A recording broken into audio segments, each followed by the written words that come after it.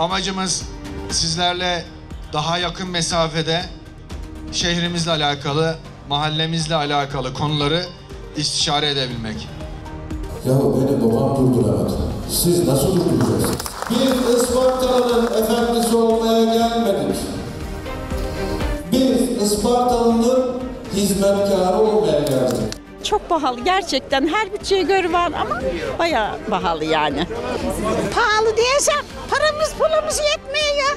Hayırlısı olsun bakalım.